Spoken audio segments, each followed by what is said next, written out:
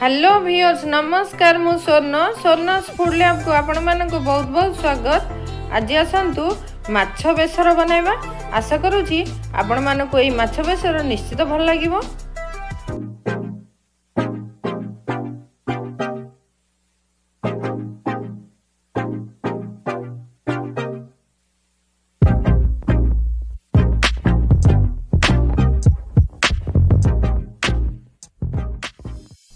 ଏହି ମାଛ ବେସର ପାଇଁ ଆମକୁ ଏହିସବୁ ସାମଗ୍ରୀ ଆବଶ୍ୟକ। ମୁଁ ଅଧ କିଲୋ ମାଛକୁ ଭଲରେ ଧୋଇ ନେଇ ସ୍ୱାଦ ଅନୁସାରେ ଲୁଣ ଓ ଆବଶ୍ୟକ ଅନୁସାରେ ହଳଦୀ ଗୁଣ୍ଡ ଓ ଦୁଇ ବଡ଼ ଚାମଚ କର୍ଣ୍ଣଫ୍ଲୋରକୁ ପକାଇ ଭଲରେ ଗୋଳାଇ ନେଇଛି। ଆଳୁକୁ ଏମିତି ଲମ୍ବା କରି କାଟି ନେଇଛି।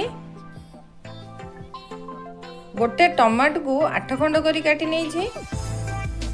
କିଛି ଭୃଷଙ୍ଗ ପତ୍ର ଓ କିଛି ଧନିଆ ପତ୍ର ଚାରୋଟି କଞ୍ଚା ଲଙ୍କା ଏହା ସହ ମୁଁ ଚାରି ବଡ଼ ଚାମଚ ବେସର ବଟା ନେଇଛି। ଏହି ବେସର ବଟା ପାଇଁ ମୁଁ ଦୁଇ ବଡ଼ ଚାମଚ ସୋରିଷ ଗୋଟେ ବଡ଼ ଚାମଚ ଜିରା ଓ କିଛି ରସୁଣକୁ ନେଇ ଏମିତି ପେଷ୍ଟ ବନେଇ ନେଇଛି।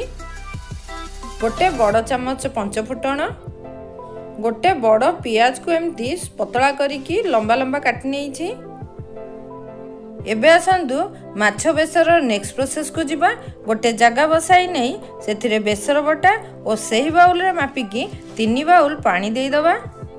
ଏବେ ଏହି ମସଲାରେ ଆଳୁ ସ୍ୱାଦ ଅନୁସାରେ ଲୁଣ ଆବଶ୍ୟକ ଅନୁସାରେ ହଳଦୀ ଗୁଣ୍ଡ ପକାଇ ନେଇ କଭର କରି ନେଇ ଫୁଟିବା ପାଇଁ ଛାଡ଼ିଦେବା।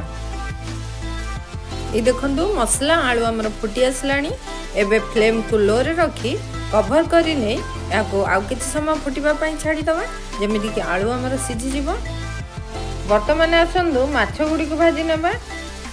ଗୋଟେ କଡ଼େଇ ବସାଇ ନେଇ ଚାରି ବଡ଼ ଚାମଚ ସୋରିଷ ତେଲକୁ ପକାଇ ନେଇ ମାଛ ଗୁଡ଼ିକୁ ଭଲରେ ଭାଜି ନେବା।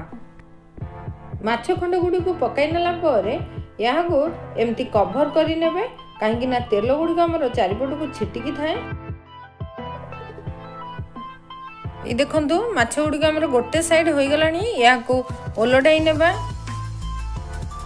ମାଛ ଗୁଡ଼ିକୁ ଓଲଟାଇଲା ବେଳେ କେୟାରଫୁଲି ଓଲଟାଇବେ ନଚେତ୍ ତେଲ ଆମ ହାତକୁ ଛିଟିକି ଥାଏ। ଏଇ ଦେଖନ୍ତୁ ମାଛ ଆମର ଦୁଇ ସାଇଡ଼ ଭଲରେ ଭାଜି ହୋଇଗଲାଣି ଏହାକୁ ଏବେ ତେଲରୁ ବାହାର କରି ନେବା।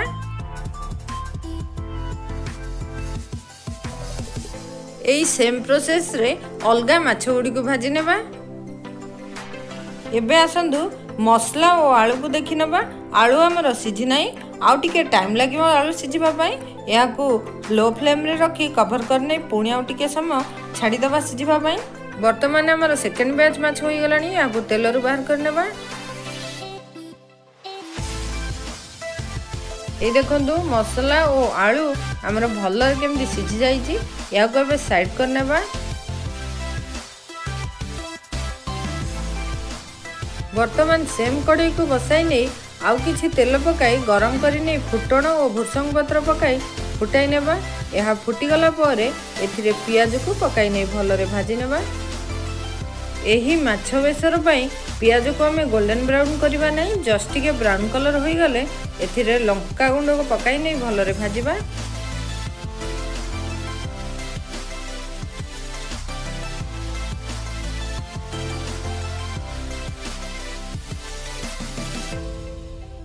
ଲଙ୍କାଗୁଣ୍ଡ ଭଲରେ ଭାଜି ହୋଇଗଲା ପରେ ଏଥିରେ ପୂର୍ବରୁ ସିଝାଇକି ରଖିଥିବା ମସଲା ଓ ଆଳୁକୁ ଦେଇଦେବା।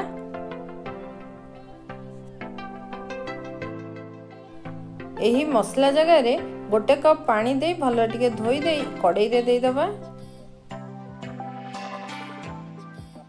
ଏହି ମସଲା ଓ ଆଳୁକୁ ଆଉ ଗୋଟେ ମିନିଟ୍ ପାଇଁ ଫୁଟାଇ ନେଇ ଏଥିରେ ଭାଜିକି ରଖିଥିବା ମାଛ ଖଣ୍ଡ ଗୁଡ଼ିକୁ ଦେଇଦେବା।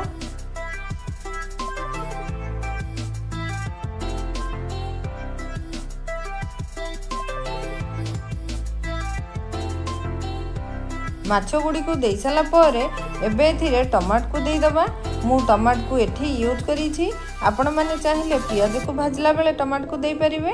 ଟମାଟୋକୁ ଏମିତି ଦେବା ଦ୍ୱାରା ତରକାରୀ ଆମର ବେଶୀ ଖଟା ହୋଇନଥାଏ। ଟମାଟୋ ଗୁଡ଼ିକ ଆମର ଖଣ୍ଡ ଖଣ୍ଡ ହୋଇ ରହିଥାଏ। ଟମାଟୋକୁ ଦେଇସାରିଲା ପରେ ଏହାକୁ ଗୋଟେ ମିନିଟ୍ରୁ ଦୁଇ ମିନିଟ୍ ପାଇଁ କଭର କରି ନେଇ ପୁଣି ଆଉ ଥରେ ଫୁଟିବା ପାଇଁ ଛାଡ଼ିଦେବା। এই দেখুন তরকারি আমার ভালরে ফুটি আসলা এতে কঞ্চা লঙ্কা ও ধনিয়া পত্র দেইদবা কঞ্চা লঙ্কা ও ধনিয়া পত্র দেই সারা পরে এমনি হালকা ভাবে টিকি গোলাই নেবে কারণ বেশি গোলাইলে আমার মাছ গুড়িক ভাঙ্গি যাব এবার তরকারি আউ ফুটাইবা ফ্লেম কু বন্ধ করে নিয়ে ଏହାକୁ କିଛି ସମୟ ପାଇଁ କଭର କରିନେବା ଏମିତି କରିବା ଦ୍ୱାରା କଞ୍ଚା ଲଙ୍କା ଓ ଧନିଆ ପତ୍ରର ଫ୍ଲେଭର ତରକାରୀ ମଧ୍ୟରେ ଆସିଯାଇଥାଏ। ଏହାପରେ ଏହାକୁ ଗୋଟେ ସର୍ଭିଂ ପ୍ଲେଟ୍ରେ ସର୍ଭ କରିନେବା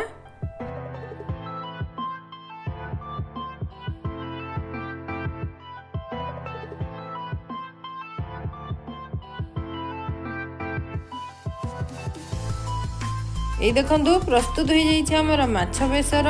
ଏହାକୁ ଗରମ ଗରମ ଭାତ ସହିତ ସର୍ଭ କରନ୍ତୁ। ଯଦି ଆପଣମାନଙ୍କୁ ଏହି ରେସିପିଟି ଭଲ ଲାଗିଥାଏ ତେବେ ଲାଇକ୍ କରନ୍ତୁ ଏବଂ କମେଣ୍ଟ ସେକ୍ସନରେ କମେଣ୍ଟ କରି ନିଶ୍ଚୟ ଜଣାନ୍ତୁ। ଆଉ ଆପଣମାନଙ୍କ ଫ୍ୟାମିଲି ଫ୍ରେଣ୍ଡସ୍ ରିଲେଟିଭ୍ ସହ ସେୟାର କରନ୍ତୁ। ଆଗକୁ ଆହୁରି ଏହିପରି ନୂଆ ନୂଆ ଭିଡ଼ିଓ ଦେଖିବା ପାଇଁ ଚ୍ୟାନେଲକୁ ସବସ୍କ୍ରାଇବ୍ କରି ବେଲ୍ ଆଇକନ୍ଟିକୁ ପ୍ରେସ୍ କରିନିଅନ୍ତୁ